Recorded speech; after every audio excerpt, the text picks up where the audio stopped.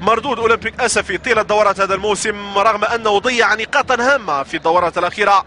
كرة للرجاء من الجهة اليمنى غياب رشيد السليماني غياب هشام المهدوفي حتى مع محمد فخر توظيف كل من عمر ديوب كمدافع من الجهة اليمنى.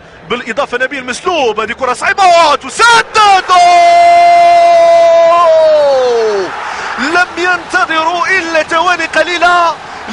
للاحتفال بالهدف الأول. بوشعيب المباركي تناسى الكل وسجل هذا الهدف بشكل رائع جدا بشكل ممتاز. سلال فاجأ الكل. لاعبو أولمبيك اسف يطالبون الحكم بتبرير موقفه لأنه منح الامتياز للاعب الكرة. لاعبوها رجاء سجلوا أول هدف عن طريق بوشعيب المباركي لم ينتظروا كثيرا ليصلوا لمرمى الحارس عبد اللطيف مرويك في الدقيقة الثالثة. من الجولة الأولى من هذا الموعد. محمد فخر أكيد أنه سعيد بهذا الهدف الذي لم يحسم أي شيء في هذه المواجهة. هدف لصفر هدف منذ الدقيقة الثالثة.